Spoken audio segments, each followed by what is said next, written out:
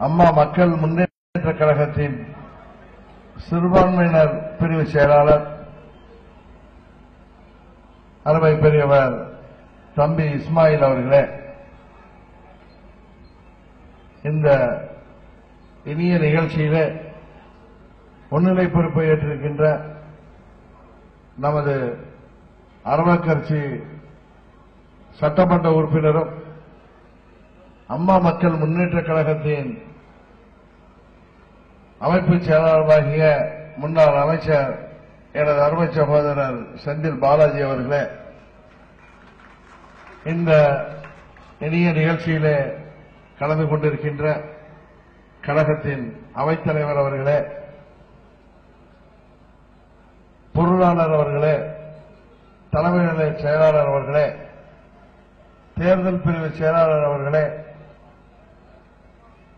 அமைப்பு செயலாளர்களே பேரவையின் செயலாளர் அவர்களே மகளிர் அணியின் செயலாளர் அவர்களே இளைஞரணியின் செயலாளர் அவர்களே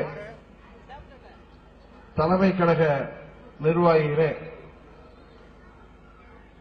இந்த இனிய நிகழ்ச்சியிலே நம்மோடு கலந்து கொள்ள வேண்டும் என்ற ஆர்வத்தோடு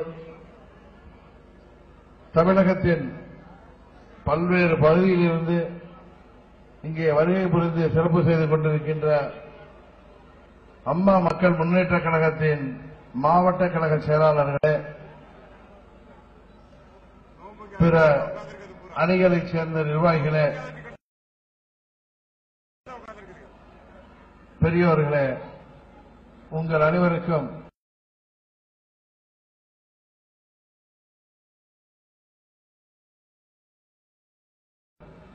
முதற்கன எனது வணக்கத்தை தெரிவித்துக் கொள்கின்றேன். இங்கே நம்மோடு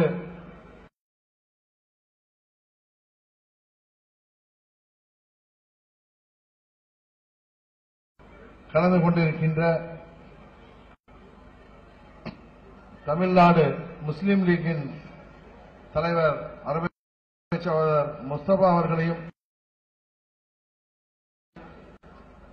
நமது புதிய திராவிடர் கழக நிறுவன தலைவர் அன்பு சகோதரர் ராஜகவுண்டர் அவர்களையும்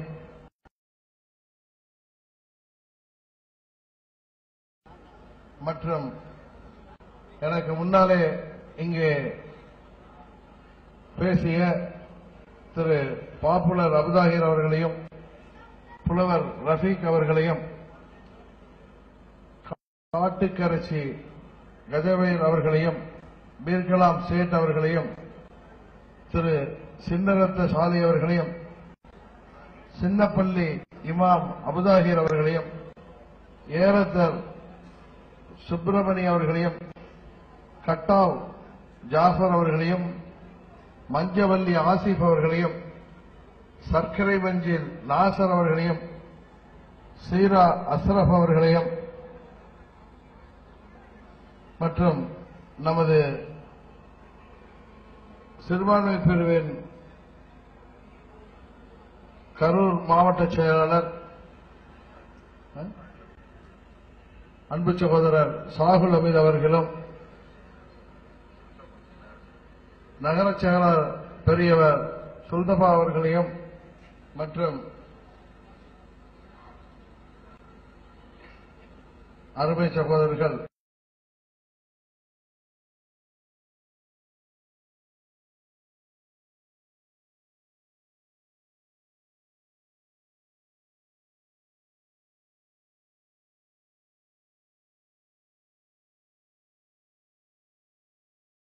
சின்னம்மா அவர்களின் சார்பாக கழகத்தின் துணை பொதுச் செயலாளராக உங்களில் ஒருவனாக இங்கே கலந்து கொள்வதிலே நான் உண்மையிலேயே மகிழ்ச்சி அடைகின்றேன்.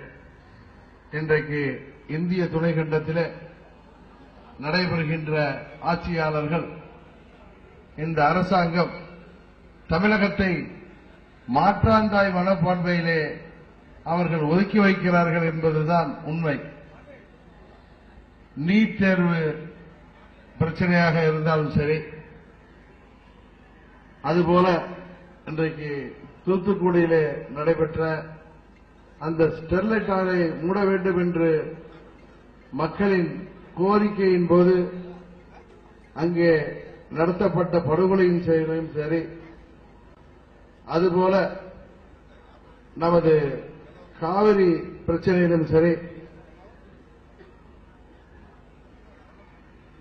நீட்டுணோ திட்டத்திலும் சரி நமது டெல்டா பகுதியிலே மக்களை அச்சுறுத்துகின்ற மீத்தேன் ஹைட்ரோ கார்பன் போன்ற திட்டங்களிலும் சரி இது போன்ற எந்த ஒரு திட்டத்திற்கும் மக்கள் விரும்பாத திட்டத்திற்கு அதை தடை செய்ய வேண்டும் என்ற நோக்கம் இல்லாமல் அவற்றை எல்லாம் தமிழகத்திலே அனுமதிக்கின்ற மத்திய அரசாங்கம் அதை எதிர்த்து போராடுகின்ற இயக்கம் மக்கள் நலனிலே அக்கறையோடு தமிழகத்திலே மத நல்லிணக்கம் நிலவ வேண்டும். இங்கே நாம் அனைவரும்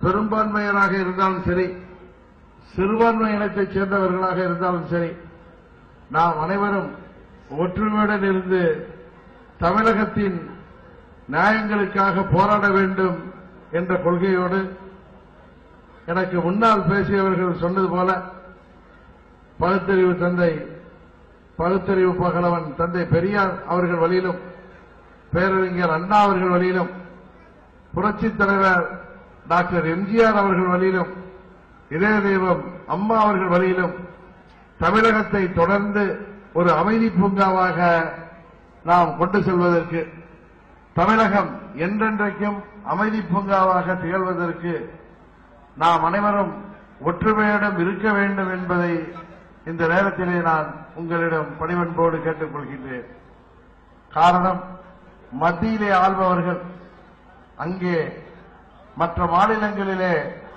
பெரும்பான்மையினர் வாக்குகளை பெற வேண்டும் என்பதற்காக இந்தியா முழுவதுமே அவர்கள் சிறுபான்மை மக்களுக்கு குறிப்பாக இஸ்லாமிய பெருங்குடி மக்களுக்கு எதிராக பல சட்டங்களை உச்சநீதிமன்றத்தின் பெயரை சொல்லி அவர்கள் புகுத்தியிருக்கிறார்கள்.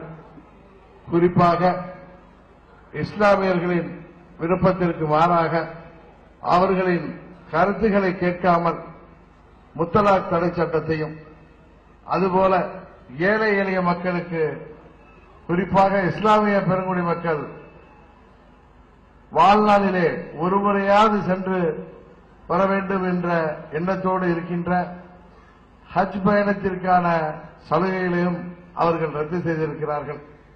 இதுபோல பெரும்பான்மையினர் வாக்குகளை பெற வேண்டும் என்ற தவறான கண்ணோட்டத்திலே அவர்கள் சிறுபான்மையாக இருக்கின்ற இஸ்லாமியர்கள் மற்றும் கிறிஸ்துவர்களுக்கு அச்சம் தரக்கூடிய பல்வேறு திட்டங்களை செயல்முறைப்படுத்தி வருகிறார்கள்.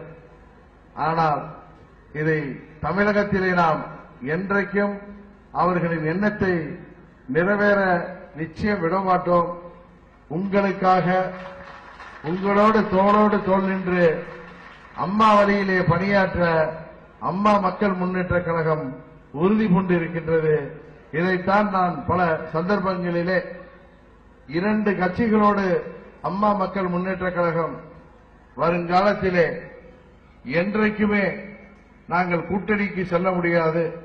ஒன்று திராவிட முன்னேற்ற கழகம். காரணம் அது புரட்சித் தலைவர் டாக்டர் எம்ஜிஆர் அவர்கள் திராவிட முன்னேற்ற கழகத்தை எதிர்த்துதான் அவர் கட்சியை ஆரம்பித்து திராவிட முன்னேற்ற கழகம் ஆட்சியில் வரக்கூடாது என்பதற்காக தொடர்ந்து பத்து ஆண்டுகள் தமிழகத்திலே ஆட்சி புரிந்தார்கள். அவர்களுக்கு பிறகு அம்மா அவர்களும் அதே வழியிலே முப்பது ஆண்டுகள் கடுமையாக திராவிட முன்னேற்ற கழகத்தை எதிர்த்து போராடினார்கள். அவரது வழியிலே வந்த தொண்டர்களாகிய நாங்கள் நிச்சயம் எக்காலத்திலும் எப்படி திராவிட முன்னேற்ற கழகத்தோடு கூட்டணி செல்ல முடியாதோ அதுபோல தமிழக மக்கள் விரும்பாத குறிப்பாக இங்கே மதசார்பற்ற ஒரு நிலைமையை தமிழக மக்கள் விரும்புகின்ற சூழலிலே மத நல்லிணக்கத்தை நாம் அனைவரும் விரும்புகின்ற சூழ்நிலையிலே தமிழக மக்களை பிரித்தாளுகின்ற சூழ்ச்சி செய்கின்ற பாரதிய ஜனதா கட்சியோடு என்றைக்கும் நாங்கள் கூட்டணி வைக்க மாட்டோம் என்பதை நான் திரும்ப திரும்ப கூறி வருகின்றேன். மற்ற அரசியல் தலைவர்களை பற்றியோ அரசியல்வாதிகளை பற்றியோ எனக்கு தெரியாது. நான் எதையும் சொல்வதற்கு முன்பு நன்றாக சிந்தித்து விட்டுதான் சொல்வேன்.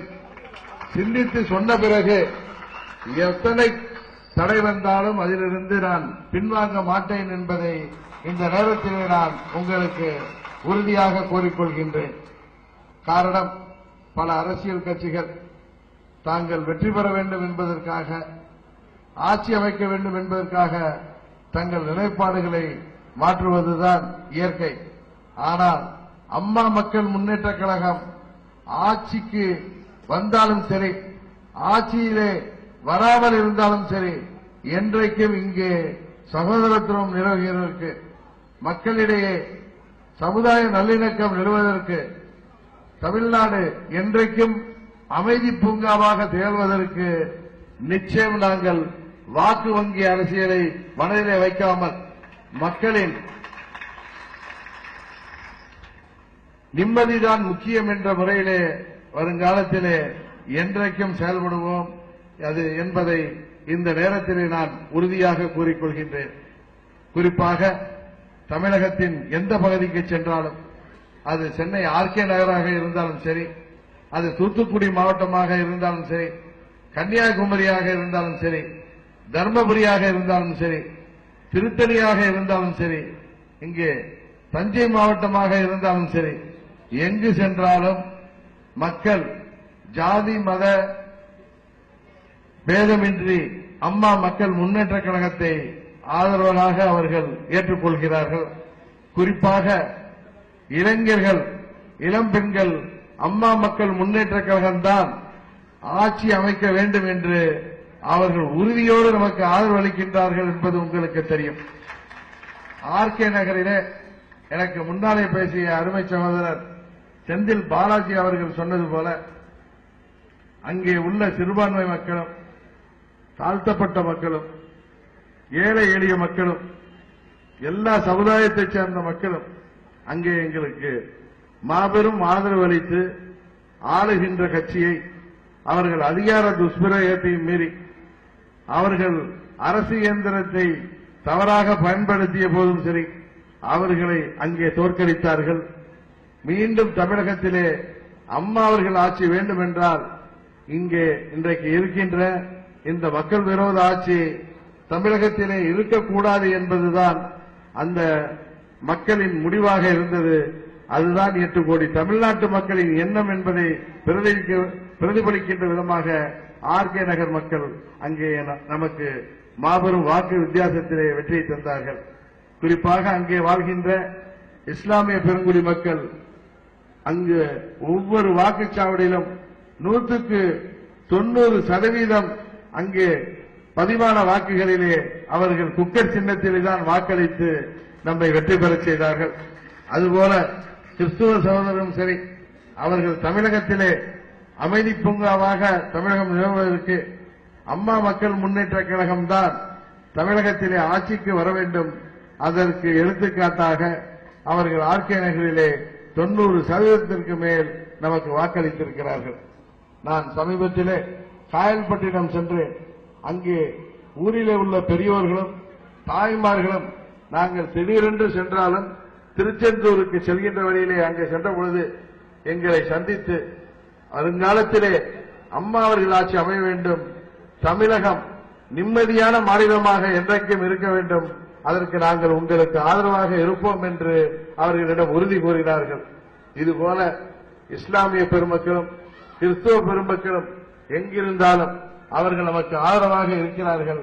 குறிப்பாக தூத்துக்குடியிலே பல கட்சிகள் ஏன் ஆளுங்கட்சியைச் சேர்ந்தவர்கள் உள்ளே நுழைய முடியாதபடி மக்கள் அங்கே அவர்களை அனுமதிக்கவில்லை. அங்கே அனுமதிக்கப்பட்ட ஒரே மக்கள் இயக்கம் அம்மா மக்கள் முன்னேற்ற கழகம் தான் என்பது உங்கள் அனைவருக்கும் தெரியும். அந்த துயர சம்பவம் நடந்து இருபத்தி ரெண்டாம் தேதி நடந்து இருபத்தி நாலாம் தேதி காலையிலே நாங்கள் அந்த வீடுகளுக்கு சென்ற போதும் சரி மருத்துவமனைக்கு சென்ற பொழுதும் சரி அவர்கள் சொன்ன ஒரே வார்த்தை அம்மா இருந்தால் அம்மா இருந்திருந்தால் இது நடந்திருக்காது என்று அவர்கள் என்னிடம் கூறினார்கள். வருங்காலத்திலே நீங்கள் எங்களுக்கு பாதுகாப்பாக இருக்க வேண்டும் என்று என்னிடம் அவர்கள் அனைவரும் முறையிட்டார்கள். இந்த ஆட்சி அகற்றப்பட வேண்டும் என்று அவர்கள் அனைவரும் தமிழக மக்கள் அனைவரும் எதிர்பார்க்கிறீர்கள். நிச்சயம் அது நிறைவேறும். இந்த நன்னாளிலே ரமணான் நோன்பு திறக்கின்ற இந்த நன்னாளிலே நாம் அனைவரும் அதற்காக பிரார்த்தனை செய்வோம். நல்லாட்சி அமையவும். மக்கள் சமூக நல்லிணக்கத்தோடு வாழவும். இந்த நேரத்திலே எல்லாம் வல்ல இறைவனை உங்களோடு சேர்ந்து நானும் பிரார்த்திக்கிறேன் என்று கூறி விடைபெறுகின்றேன். நன்றி வணக்கம்.